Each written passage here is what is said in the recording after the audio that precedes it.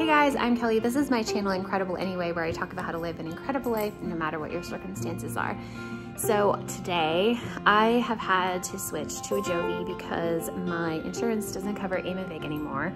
And before when I did Ajovy, it was a pre-filled syringe, which I prefer. I asked my doctor for, I don't know if they're available anymore. Unfortunately, I was given an auto injector. This is a different auto injector from the Aimovig. So I figured I would show you guys my experience with it. So when I open the box, it's got the typical instructions for use and it's got the pharmacist, like a more detailed then when I open it up, it's got the auto injector. Now I took this out of the fridge this morning. It says to take it out of the fridge for 30 minutes. Uh-uh. I would take it out for the full day because the colder the medication is, the more it hurts when it, you get it injected, if it hurts at all. So I take it out for the full day. It can actually be out for, I believe, seven days before it goes bad. Uh, but I took it out for today. So this is what it looks like. And it's kind of a more, it's like a square circle. and that's what this side looks like. Single dose. Okay, so I just read the Ajovy instructions front and back. I'm really glad I did because even though I've done a pre-filled auto injector with the Aimovig. It is different. There are a few different things. One of them is that this doesn't have a button on the end. So with Aimovig, and I believe Emgality, there's a button that you would depress here. Uh, first, I would push it into my skin and then depress this.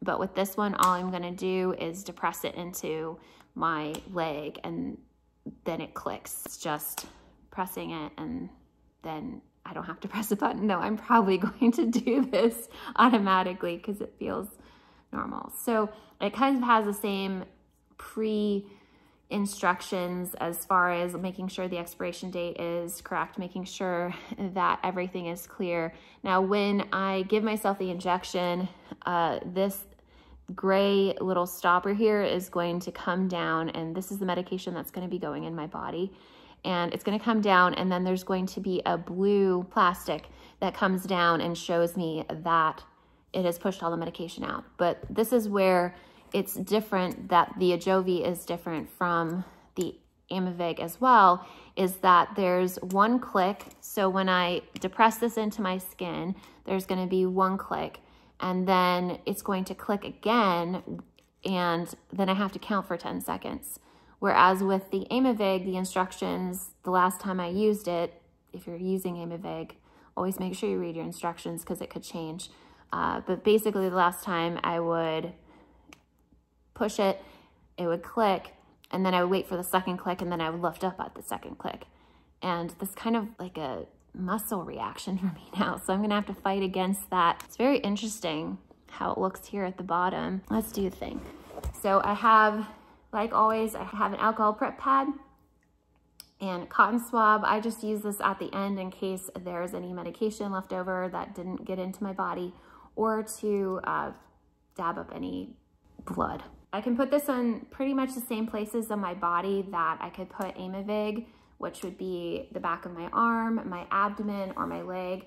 And I use my leg because the arm you need somebody to help you with. And my abdomen, I just have too much belly fat to depress it in there in a way that feels comfortable for me.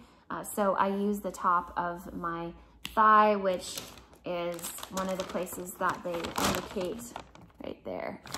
So I have my sharps container with the top off ready to, after I'm done with this, put it in here. They say to pull this cap off straight, so man, it's hard. So here is what it looks like. The cap is looks like it's basically a needle cap. And then the needle is pretty far up into the white space. So you can see the needle there. See it? It's a lot easier to see than the Aimovig because it's white. I'm going to clean my leg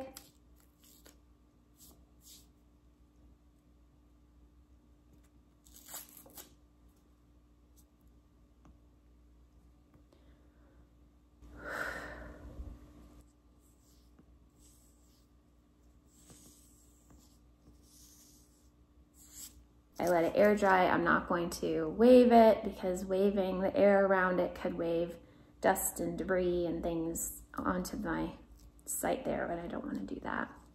Just gonna wait for it to air dry. I'm nervous because I don't know what this feels like. It's been a long time since I've done a needle for the first time, like a new needle. I did Aimovig for the first time back in June of 2018, and I did Ajovy for the first time in, I think it was February of 2019. So that's the last time I've done a needle, that I've given myself a needle injection. That's new to me. All right, we are dry. Okay, so 90 degrees. You hear the first click. We need to press the whole thing. Another thing that is different is with Aimovig, you either have to pinch up the skin or you spread out the skin. So it makes you do something like this or pinch it up. Where this, it basically is just putting it down, which seems similar to an EpiPen. You just put it, put it flat into you. All right, man, I'm so nervous. All right, here we go.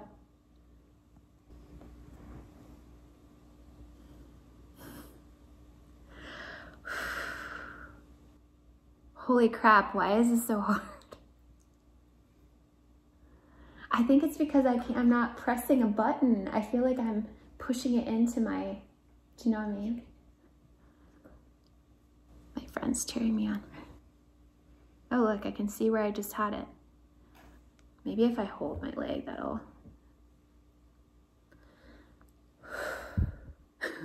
just blew the thing away. Okay, do it before I think about it. About it.